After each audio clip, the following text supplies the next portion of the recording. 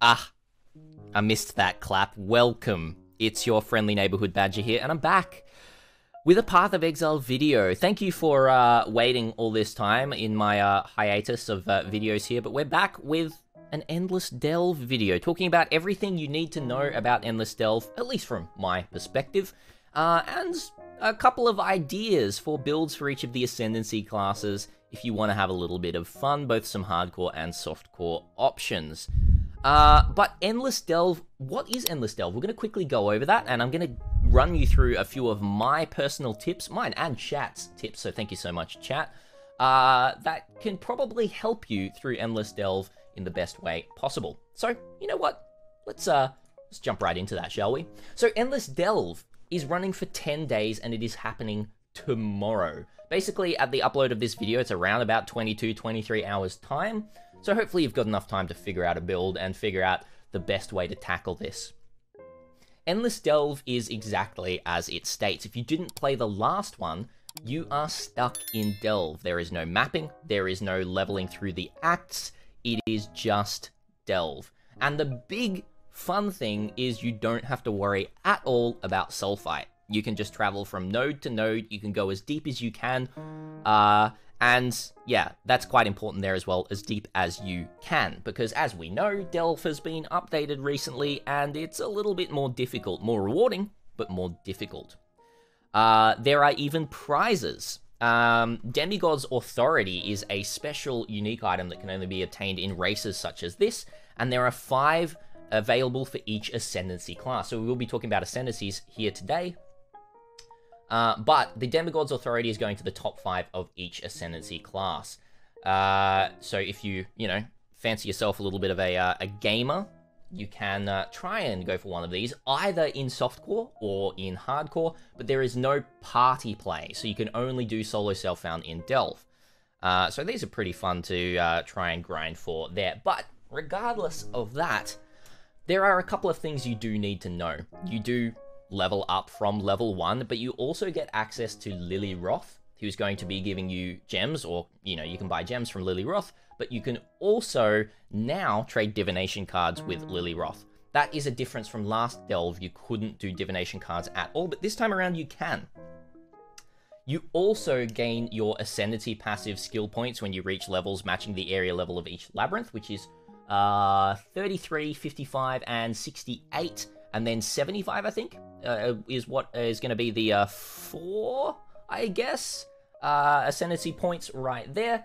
And then you also get three passive skill points to make up for the ones you normally get from quests as well. So, all in all, experience from last time as well, playing the Endless Delve, it was a really, really smooth leveling process, way smoother than the actual leveling through acts is itself, because you don't have to do side quests for passive points, you don't have to kill all of these bosses, uh, you, you, all you have to really worry about is at level 40 and level 70, you get your negative 30 and negative 60 to your resistances respectively. That's basically all you need to know about the Endless Delve, but here are a couple of uh, my tips, my Endless Delve tips for you right here, because uh, there's some uh, interesting things you should know.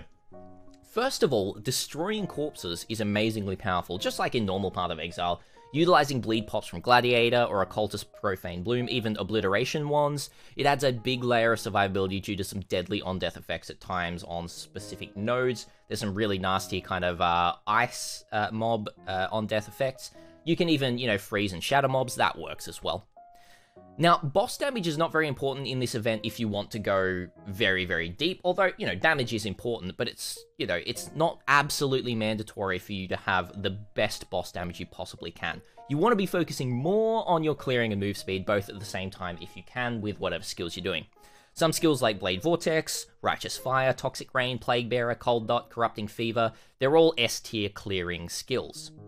Now, you know, granted, if you do want to tackle that all as you go down, just for a bit of fun, if you're in softcore and you don't mind, you know, uh, dying over over and over a few times, you know, maybe you do want to consider a little bit more boss damage right there.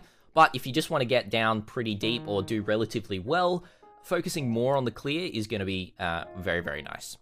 If you do want to race, be considerate that the Demigods prizes are ascendancy based. So what that means is though Gladiator might be the most popular, or Chieftain I think at the moment is looking very popular, you might consider going a very underrated ascendancy for an easier time getting in the top 5.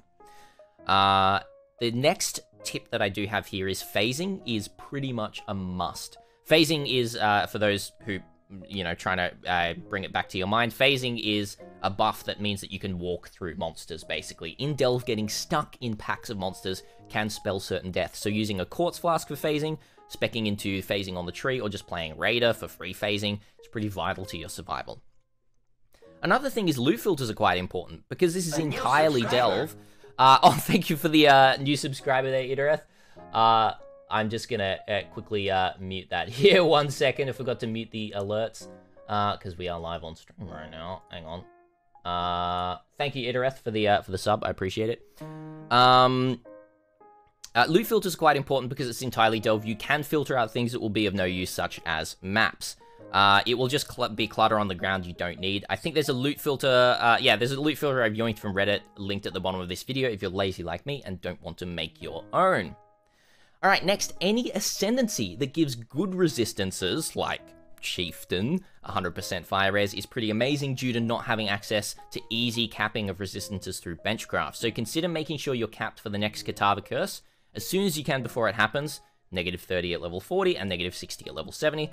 My little tip is try to be 30% overcapped at level 35 and 60% overcapped at level 65, uh, just so you've got a little bit of a buffer there. You don't, you know, you don't have to be overcapped by those points, but it's really nice to aim for that if you can. It will really help you gear. Um, if you're finding that you get to level 35 or level 65 and you're pretty undercapped, don't go any deeper because obviously the experience gets much better. Just try to go across in Delve and try and find some good armor nodes or jewelry nodes depending on what kind of stuff you need and just uh, try and see if you can find uh, some nice uh, defensive resistance uh, rares for you. Alright, that brings me to the next part of the video, some fun build ideas for each Ascendancy. Uh, now, these are not necessarily the best builds for each Ascendancy. You know, I haven't spent uh, 60 hours uh, going through everything and making sure that uh, these are going to be the best builds. And I also don't have POBs for all of them. These are suggestions to you for, for builds that I think will be fun and will be relatively strong in this Endless Delve here as well. And we're going to go through each Ascendancy. First of all, Elementalist. Uh, as I said up above, I think Blade Vortex is going to be pretty strong, so you can do just a Blade Vortex dual or triple Herald with uh, Herald of Fire, uh, well, Herald of Ash, Herald of Ice. You can put Herald of Thunder in there as well.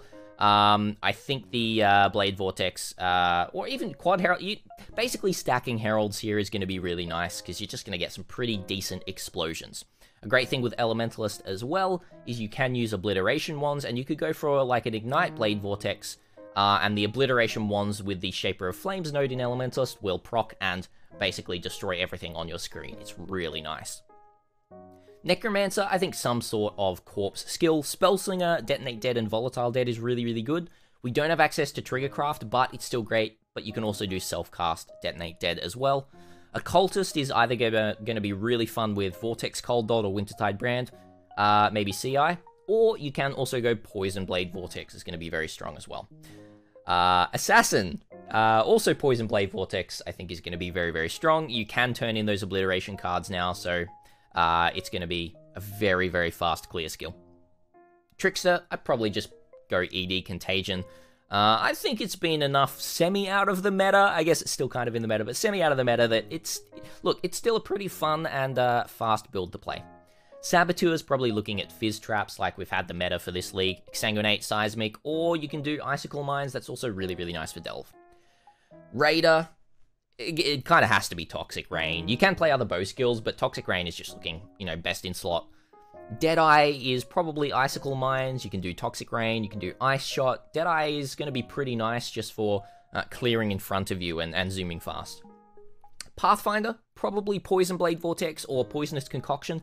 Now, Poisonous Concoction is uh, very slept on. I, you know what? I should probably put that up here in the uh, in the Occultist as well.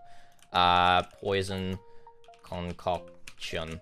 Uh, because it's a really, really strong skill this league and doesn't need much gear to be uh, way stronger than it needs to be.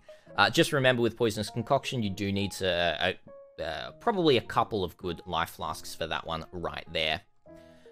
Uh, Gladiator, Corrupting Fever Exsanguinate Slinger is going to be really, really strong.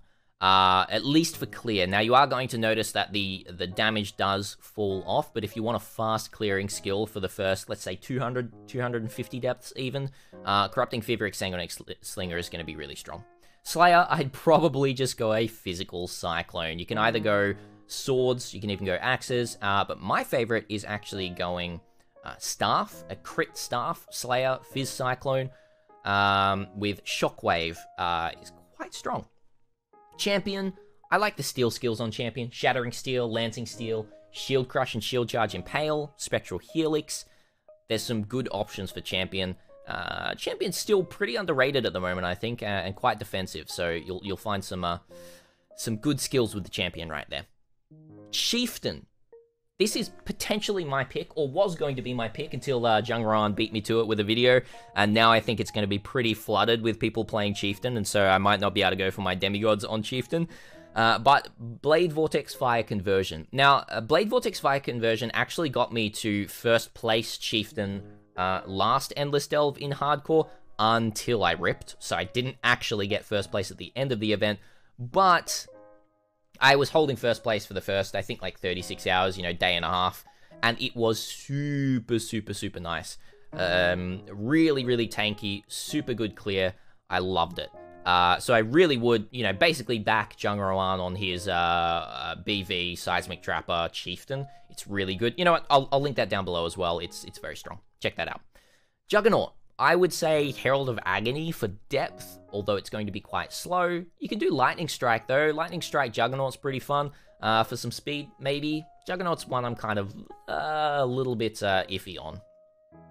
Berserker is looking like a Shield Crush. General's Cry will be very strong, as well as Rage Vortex. They're both very strong skills right there. Hierophant. Uh, Stormbrand, Armor Brand. Brands are quite good in uh, in Delve, but I would go Mind Over Matter on Hierophant. You can do Totems, I just don't really like Totems in Delve. Inquisitor, I think Stormbrand is really strong if you want to go for some speed and some DPS. It's not too hardcore viable, but very good. Although what is hardcore viable is Righteous Fire, Inquisitor, and also very, very strong this league. I would probably suggest that much uh, more than the Stormbrand. Righteous Fire is very strong. Uh, Guardian, Dominating Blow is going to be really cool as well. I think that's probably just best uh, best in slot skill for Guardian. And lastly, Ascendant. Still trying to figure this one out, but Reap Exsanguinate Slinger. Uh, Spell Slinger does look very strong. That's basically all of my suggestions and tips for Endless Delve. Let me know what you think, uh, if you enjoyed this video, uh, and if you're still watching at the end of this, let me know what your favorite holiday destination is uh, in the comments down below. Um, but uh, yeah, I'm back. Thanks for uh, thanks for waiting for some more Path of Exile content. But uh, yeah, have fun in Endless Delve, and I'll see you soon. Until next time, Badger out.